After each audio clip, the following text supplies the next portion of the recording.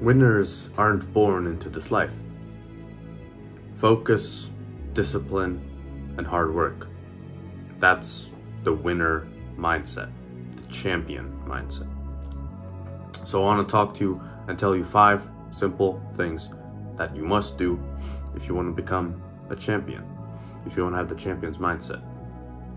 Firstly, you must focus on what you can control, so your inputs, because the outputs are out of our control and sometimes will just randomly happen.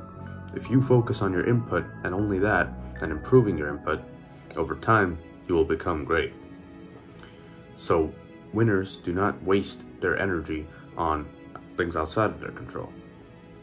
They will focus on the effort that they put in. They will focus on their own mindset. They will focus on their own preparation. These are the only things that truly matter. Number two, embrace discipline, not motivation. Motivation mostly comes and goes.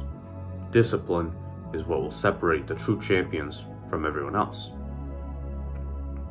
When you show up every day, whether you feel like it or not, winners grind, even when it's hard.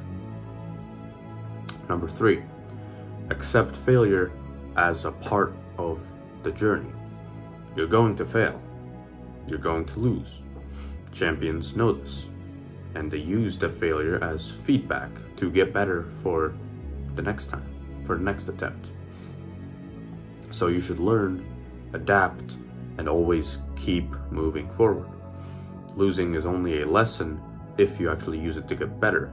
If you don't get better, then you're just lost to lose, which was pointless to begin with. Number four is to stay relentless.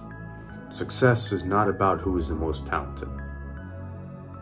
Sure, talent might play a bit of a role in it, but mostly it's really just about who refuses to quit.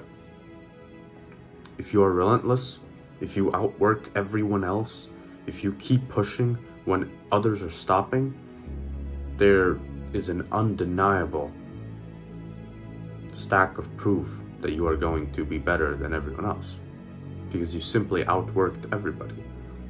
You cannot be worse than them when you've outworked them that much, even if they're more talented than you. It's simply not going to happen. And number five is confidence through preparation.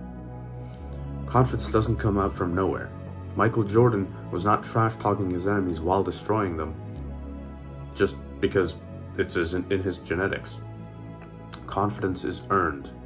The more prepared you are, the more confident you'll be. Winners don't hope that they're going to succeed.